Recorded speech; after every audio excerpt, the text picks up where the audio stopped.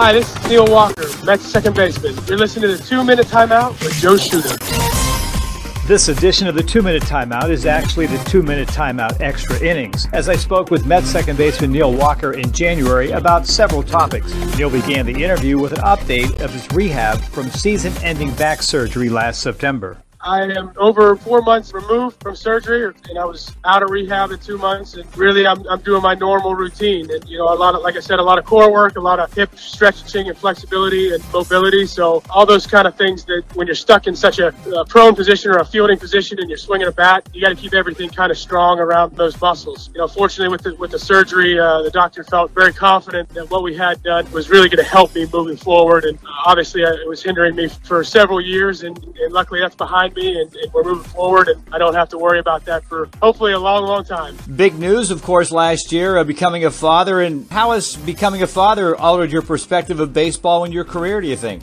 Yeah, it's, it's been great. Fortunately, my wife Nikki and I on August 23rd of 16 were welcomed a little girl into the world, Nora. So it's certainly been a change of pace in the household. We've learned the stresses, but also the very highs of being parents and the patience that goes along with parenting. And it, it kind of makes the, the ups and downs of baseball seem very insignificant. So, you know, it's really been fun to, to watch her grow over these. Before you know it, she's going to be walking and talking and telling me all sorts of stories. I'm looking forward to the next several months because I know she's going to change so much. The trade for the Pirates certainly came came as a shock to many fans. You know, you told me once in spring training that you realized it was a business when a guy who was in the locker next to you, the next day you come in, he's no longer there. That's one of those things that everybody has to get used to, but it is once again part of baseball and part of professional sports.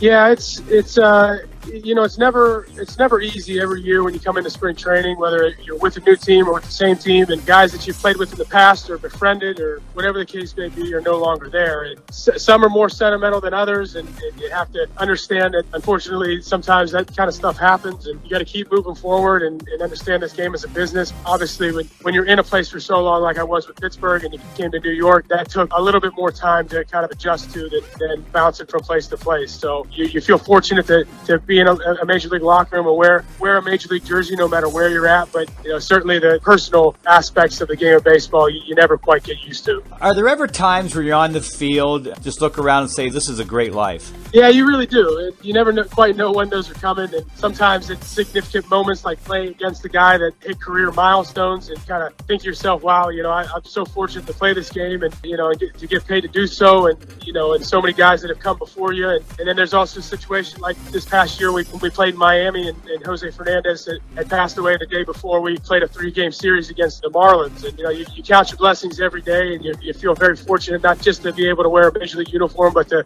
be, you know, a healthy person on this earth and try to affect the game and to affect others in, in a positive aspect. Players say they love the game, but what is it about the game of baseball that's special for you? You played football, you played some basketball in high school. Why is baseball so special? I think it's such a, a, chess game per se. I think especially as you move up and if you have the, the ability to play at the highest level, you realize that everybody's talent level is so very similar. And it's kind of those guys that grind the best and that mentally understand that it's such a tough game and, and you have to pay attention to the small details, both mentally and physically and on and off the field. And it's, it's unlike any other sport. And obviously it's not as physically demanding as, as many of the other professional sports. It's, it's a chess match every time you step in the box and or even in, in the field or, or pitchers learning hitters' tendencies, and you just got to grind and you got to find ways to be to, to, to, adapt year in and year out. And you know, you find yourself thinking differently every single year when you go into a game, and, and, and it's those that adapt and can play the game consistently at the highest level that make it, that, uh, you know, that have the longest careers a 300 hitter fails 70% of the time. There really is no other sport where that happens. A, a basketball player is not going to play very much if he only hits 3 out of 10 shots. Did it take you a while to get used to the fact that there's days when you're going to be 0 for 4 and it looks like the ball looks like a golf ball and other times the ball is going to look like a beach ball? Yeah, you don't really get used to that, and you know, a lot of times you have to remind yourself that when things aren't going great, it never it's never really as bad as it seems, and then on the other side of things, when things are going great, they're never really as great as they seem, and that's that's why as a baseball player, you try to stay somewhere in between, emotionally and mentally, so wear yourself down over the course of a long season. It's kind of always a challenge, and you have to find ways to turn it off when you leave the field, and don't take your work home. And you know, in situations like for myself, when you have a child and, and you have a little bit different perspective, it, it kind of does make those moments easier. You know, everybody wants to be a 300 hitter, but there's only a handful of those guys really every year that exist. Getting used to travel and rest. After I travel on a four or five hour plane trip, I feel like a zombie the next day. you guys have to play at a major league level, and no one's feeling bad for you. The pitcher's not saying, "Oh, this guy only got a couple hours sleep." That's got to be difficult. And How did you get used to that? Yeah, you really have to you really have to pay attention to your sleep patterns and delegate kind of the days that you may need more rest. And uh, sometimes you should go to the bar- ballpark a little later. Sometimes you need more rest. Usually early on in the season, you have a little bit more energy. And when July and August roll around, you kind of feel a little bit run down, and you have to find those times when you need to shut it down a little bit more mentally or physically. Sometimes you don't take batting practice. The most important thing, uh, really, that I've found is getting quality rest and you know shutting your phone off until you wake up, whether that be 8:30, 9:30, 10:30 in the morning, whatever whatever your sleep patterns kind of call for, rest is still important over the course of the year and, and obviously taking care of your body when you're at the field, whether it's working out more, working out less, getting massages, whatever the case may be. You know, you have to find those ways to make it over the, over the course of the season. As we wrap up this interview, looking at baseball and the future of baseball and whether it's uh, with replay, rules changes, if you were commissioner, what would you do? If people complain about how long baseball is. Football has a clock. The average college football game is three hours hours and 15, 20 minutes. Would you do anything?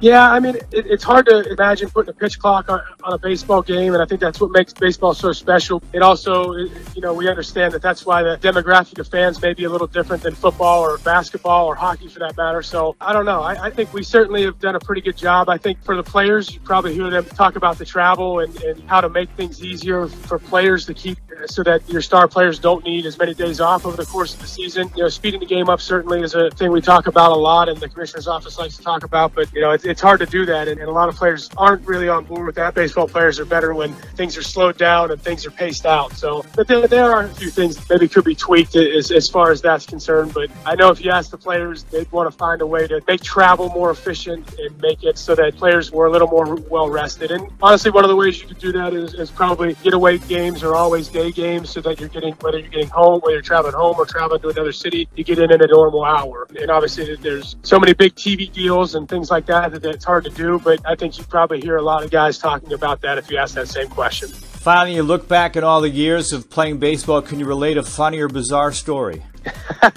you know, I think this year having a new experience in baseball and going to a new team and to new teammates and new, and new cities in spring training and during the season, it makes you appreciate, like like we were talking about earlier in the game. But you know, I got to play with Bartolo Colon, and it really puts the game of baseball in perspective because he's a guy obviously that doesn't look like your normal baseball player, but he knows how to get guys out. And uh, I can remember during the season this year, I was sitting in the sauna with him, and as you can imagine, sitting in a sauna with him with, with his shirt off is a pretty pretty great sight to see. And, and, I just looked at him and I said, "Man, what's your secret? How, how have you made it this far?" And he uh, he said, "You know, I don't take this game that serious. He takes it seriously, but he doesn't let it affect his day-to-day uh, life. He comes to the ballpark with a good attitude. He uses stretching bands a lot. He's about, he's probably the most nimble and, and flexible guy that I that I've ever played with. And you know, he said he's enjoyed the game from the time he was 18 to the time he was 43. And, and you think to yourself, uh, I think to myself, man, if I had the ability to get to that age and still play the game game at the level he's playing, you know, I feel really, really uh, lucky. So it was pretty fun. And, and, he's usually the, the source of a lot of conversations because he's, he's uh, you know, such a special talent at such a, such a, a special age. Thank you, Neil, for joining me once again. Best of luck to you.